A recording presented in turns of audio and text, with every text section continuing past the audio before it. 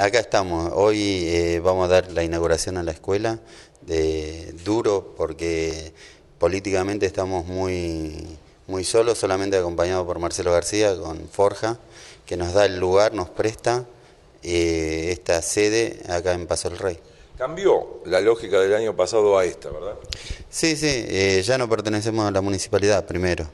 Eh, las ligas tampoco de fútbol de Moreno quedaron solas, se tienen que abastecer solos, tienen que pagar el arbitraje, el transporte, los premios. Entonces, hoy la municipalidad con lo único que colabora es, me parece, con un torneo que quedaron 20 clubes de Moreno.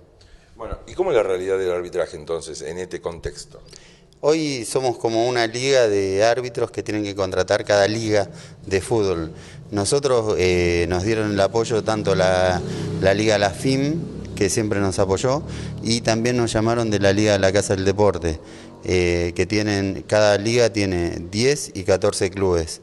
Y los domingos nosotros tuve que armar un grupo de árbitros, de 30 árbitros, para poder eh, brindar el servicio de arbitraje en esas ligas. Eh, cambió mucho la realidad, ¿verdad? Sí, cambió bastante. Nosotros ahora, eh, yo soy el que se encarga de, este, de eh, preparar a los árbitros en el tema reglamentario.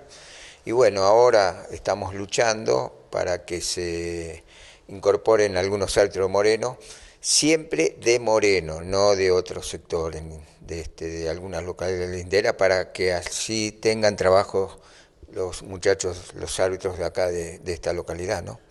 A ver, su trabajo de capacitación no debe ser fácil. El tema del reglamento, a ver, muchos que somos amantes del fútbol decimos conocerlo y no lo conocemos. Lógico, este, no es que cambiaron las reglas, sino que a las reglas se le agregaron algunos condimentos, pero no cambian las reglas. Las reglas son siempre 17. Por ejemplo, te voy a dar un caso, si un jugador se lesiona, antes debía ser retirado porque entraba el cuerpo médico a atenderlo. Ahora, si no hay una sanción disciplinaria de parte del jugador agresor o infractor, el jugador se reincorpora y sigue en el campo de juego. Porque, no era ventaja numérica Era una injusticia. El que eh, agredía, pegaba, se quedaba en la cancha. El equipo de él se queda con 11. Y el que recibía la infracción tenía que salir y esperar la orden del juez para entrar y quedaba con 10. Entonces, eh, eso fue una de las causales o una también de las de las reglas que, que modificaron. Y que hay que inculcarle a los árbitros. Claro. Porque muchos piensan, inclusive yo, que había que tenía que salir sí o sí. Ahora no. No, no, no, no. Hay que, hay que, si Dios quiere, vamos a también a citar a los capitanes, los equipos y a los técnicos para darle este, eh, las reglas que, que se modificaron o, o algunos artículos que se agregaron así este, todos entendemos un poco. Yo le digo a los árbitros que ellos no son árbitros solamente los domingos, son árbitros los lunes, martes, miércoles. ¿Por qué? Porque cada árbitro vive en un barrio. Cuando pasa una jugada de esta característica los domingos, este, digamos, eh, con vecinos, no, no, y al otro día el árbitro va y lo encuentran hacia la tarde, ah, ahí está el árbitro, vení que te juego algo, una gaseosa, lo vení, y uno tiene que responder no puede quedar en el aire diciendo, ay, no, no sé. Entonces yo le digo que el árbitro no es árbitro domingo, es árbitro toda la semana. José, bueno, está abierta la inscripción, ¿cómo se pueden acercar? ¿Qué es lo que tienen que hacer? Bueno, está, eh, sí, va a estar abierta como hicimos todos los años, este es el tercer año. ¿Con qué requisitos? Eh, ser mayores de 18 años, nada más, para que puedan salir a trabajar.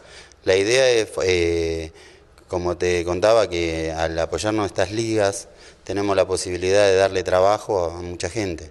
Ya tenemos 30 árbitros, la idea es terminar con más cantidad para que estén trabajando en las ligas municipales. En la liga. Sí, en la, liga de, fútbol.